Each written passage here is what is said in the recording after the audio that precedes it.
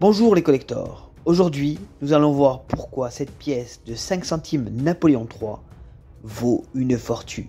Avant de commencer cette nouvelle vidéo, n'oubliez pas de vous abonner.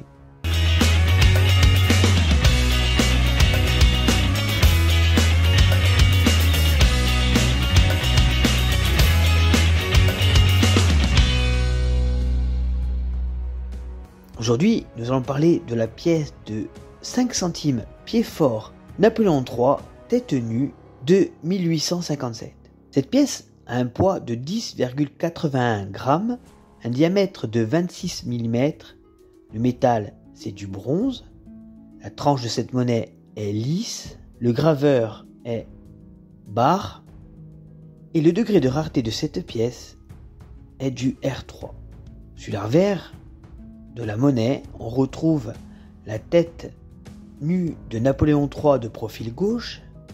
Juste en dessous, la tête au niveau du cou, nous avons la signature barre. Tout ceci entouré de grénétis.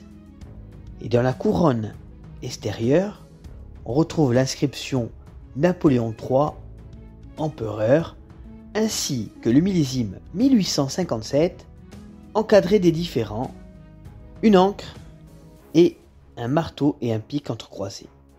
Sur le revers de la monnaie, on retrouve au centre un aigle debout de face sur un foudre, les ailes ouvertes, la tête tournée vers la droite.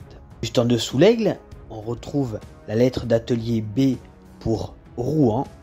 Au-dessus, on retrouve la légende Empire français. Et en dessous, on retrouve la valeur 5 centimes. Alors pourquoi cette monnaie est beaucoup plus rare qu'une pièce de 1857 normale? Tout simplement parce que cette pièce est un pied fort.